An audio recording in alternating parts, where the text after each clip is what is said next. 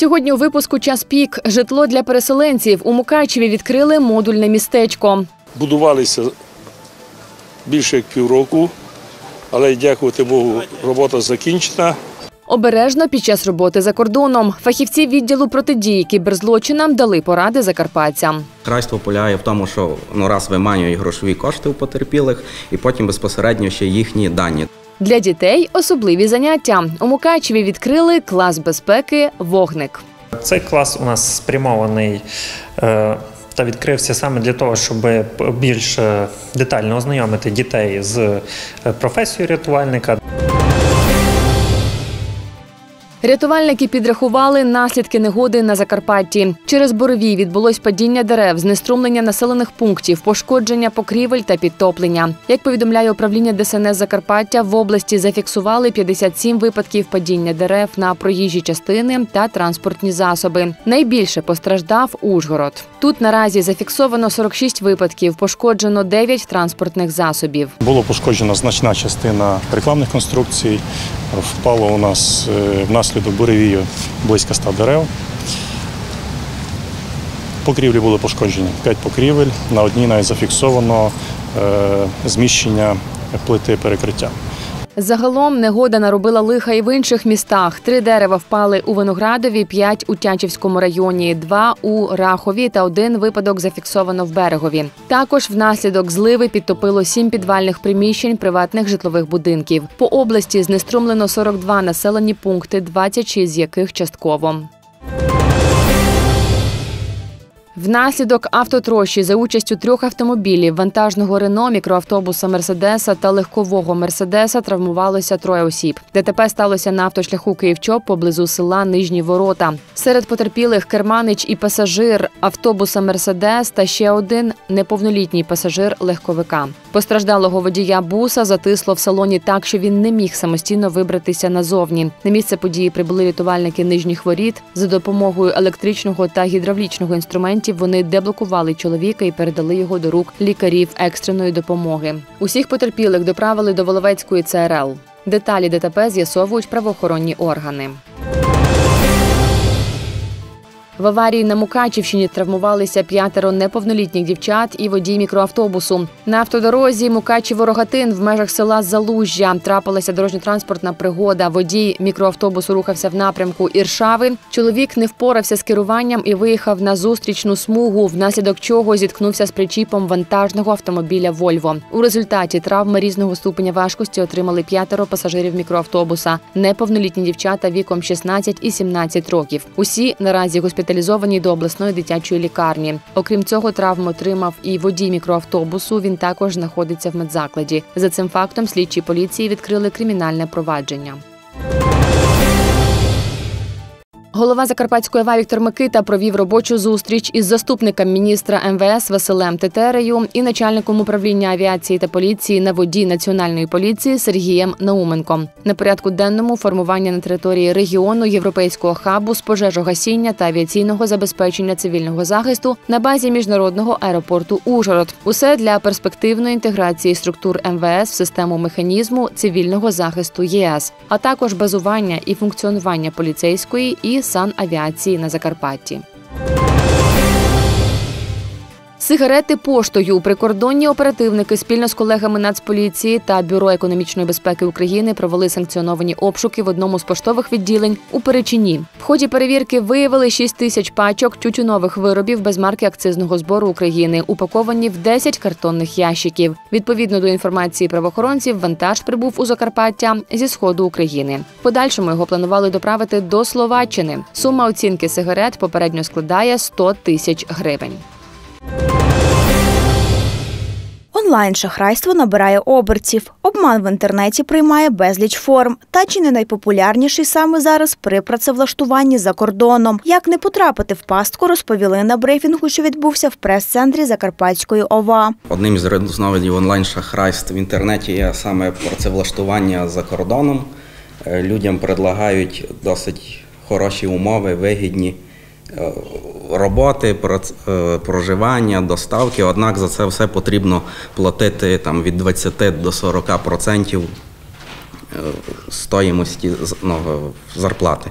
Однак це- в цих всіх випадках це є е, шахрайські дії. Шахрайство полягає в тому, що ну, раз виманюють грошові кошти у потерпілих, і потім безпосередньо ще їхні дані. Це паспорт, е, права, ідентифікаційні коди, після чого ці, ці, ці самі е, документи можуть вже фігурувати в других якихось шахрайських діях, де вже безпосередньо будуть використовувати тих людей, які тут попали в шахрайство. З початком війни в Україні працевлаштування за кордоном набирає дедалі більшої популярності. За словами спікерів, щоб не стати жертвою шахрайства, перш за все необхідно звертатися в перевірені та ліцензовані агенції, які надають послуги пошуку роботи. Є е, багато багато е, видів шахрайства в плані працевлаштування, тому що е, є люди, які їдуть в перший раз, вони не знають, е, деякі не цікавляться.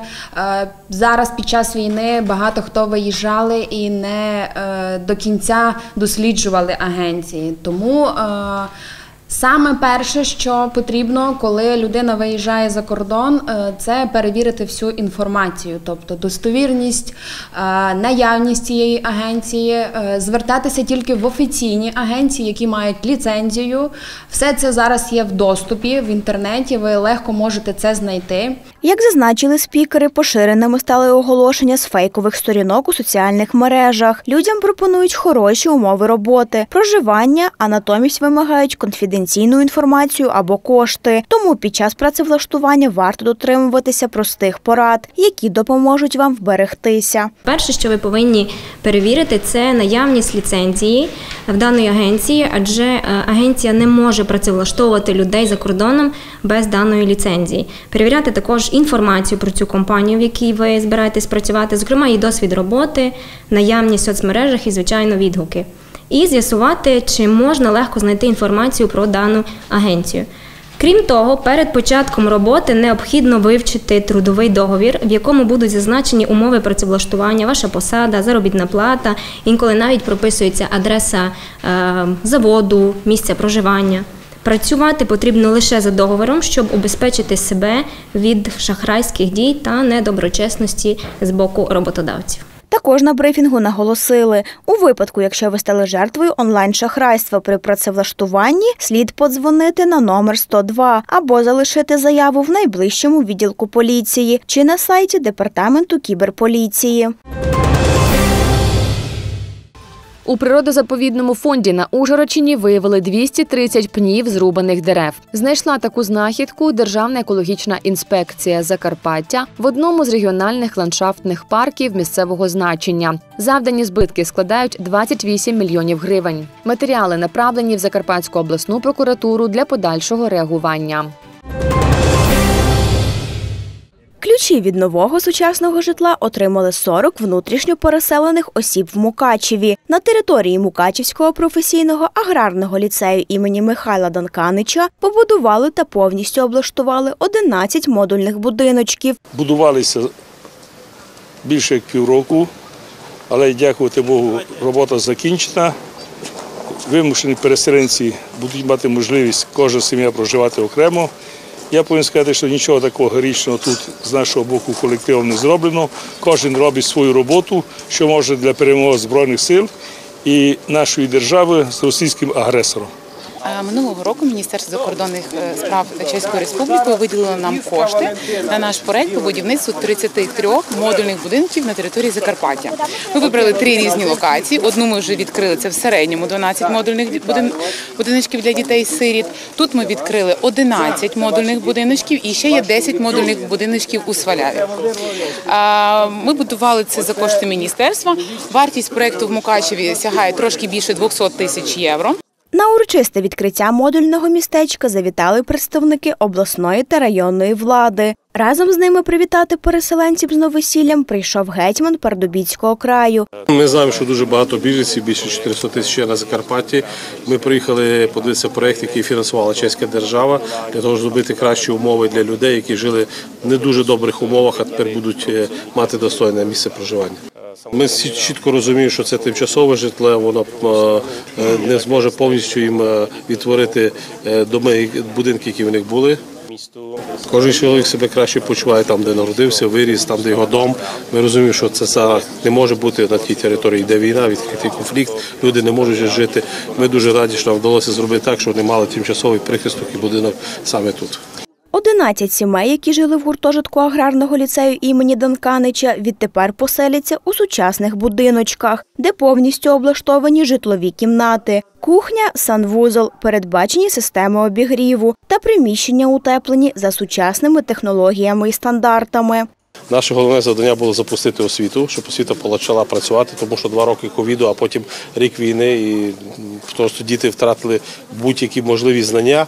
І нам важливо було це запустити. А ці всі люди жили в гуртожитку нашого училища, і була придумана така схема, щоб побудувати ці будиночки відселити їх з гуртожитку, щоб студенти могли якісно вчитися. Так ми і зробили. В принципі, більша частина людей цих це ті, кого ми прихистили в гуртожитку нашого закладу училища імені Данканича. Як зазначають переселенці, які тепер будуть проживати у модульних будиночках, для них це була приємна несподіванка. Ми з родиною проживали в великій кімнаті, е, розраховані на чотири ліжка. Ну, тобто я, моя мама, бабуся, ну, моя мама і двоє дітей. Нам запропонували е, зараз переселення у е, модульні будиночки. Чому ми раді? Тому що все ж таки більш-менш схоже на окреме житло, є буде своя власна кухня. Мешканці будиночків житимуть в них до завершення війни і ще два роки по тому. Опісля ж завершення цього терміну все модульне містечко повністю перейде у підпорядкування аграрного ліцею і проживатимуть там студенти навчального закладу. Розпочався ремонт дороги місцевого значення на ще одному проблемному напрямку. Йдеться про автошлях Свалява Довге Липча. За словами першого заступника голови Закарпатської ОВА Мирослава Білецького, підрядна організація виконує роботи з ліквідації ямковості між містом Свалява та селом Стройне. Аби забезпечити проїзд, дорожники зроблять фрезування старого покриття окремими картами, а вже після підготують основу та влаштують вирівнювальний шар асфальтобетону. Очікується, що за сприятливих погодних умов роботи триватимуть близько двох тижнів. Відчути себе справжніми пожежниками, вдягнути форму, виїжджати на виклики та ліквідувати умовні загорання. Таку можливість відтепер матиме малеча Мукачева під час навчання у класі безпеки Вогник, який сьогодні відкрили на базі 9-ї державної пожежно-рятувальної частини. Цей клас у нас спрямований е, та відкрився саме для того, щоб більш детально ознайомити дітей з е, професією рятувальника, доносити до них е, самого маличку всі правила пожежної безпеки, е, правила так само дорожнього руху. Сюди ми будемо запрошувати. Спеціалісту з безпеки сюди ми будемо запрошувати так само національної представників національної поліції для того, щоб разом з ними проводити спільні заняття і розвивати е, дітей в руслі безпеки е, життєдіяльності. Першими на відкриття пощастило завітати дошкільнятам. Пожежники ознайомили дітей із своєю професією, провели цікаві та корисні заняття, ознайомили дітвору з пожежно-рятувальною частиною та робочими автівками. Служба надзвичайних ситуацій сьогодні відкрито перший клас безпеки. Ми дуже цьому радіємо. Ми провели для діток перший пізнавальний інтерактивний урок щодо правил поводження під час алгоритму дій повітряна тривога під час пожежної небезпеки, що таке надзвичайні ситуації. Пройшлися з дітками по гаражу, де знаходяться в нас пожежні машини. Е, Машини виїжджають, які на пожежу. Також виїжджає на ДТП наш САРМ. Е, Дітки були дуже здивовані, е, щасливі, поміряли каски, навіть подали воду з рукавів пожежних. Інтерактивна кімната укомплектована всім необхідним. Тут малеча віком від 3 до 12 років матиме змогу весело і водночас з користю провести час. Сьогодні маленькі гості вперше одягли форму рятувальника, ознайомилися з пожежними машинами та навчилися новим правилам. Вам сподобалось на екскурсії? Важливі такі екскурсії для вас? Багато